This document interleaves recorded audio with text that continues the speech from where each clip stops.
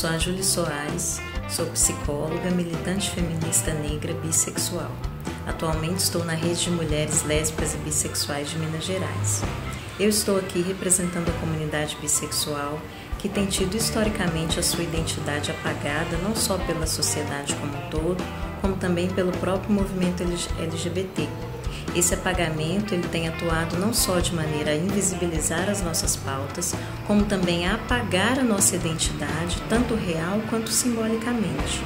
Isso tem consequências devastadoras para a população bissexual, que tem tido muito mais chances de desenvolver sofrimento mental comparado às mulheres lésbicas e aos homens gays.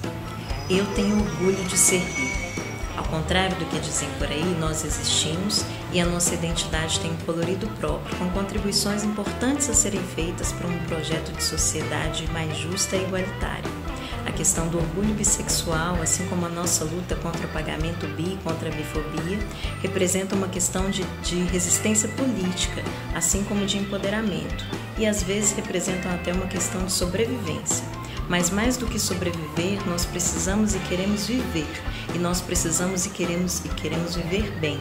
Para isso precisamos poder contar com você na nossa luta. Que tal então? Bora colar no, no diálogo digital proposto pelo CFP que vai acontecer no dia 13 de julho, amanhã, às 19 horas, no site do Conselho. A psicologia tem muito a ver com isso, tem tudo a ver com isso, você também.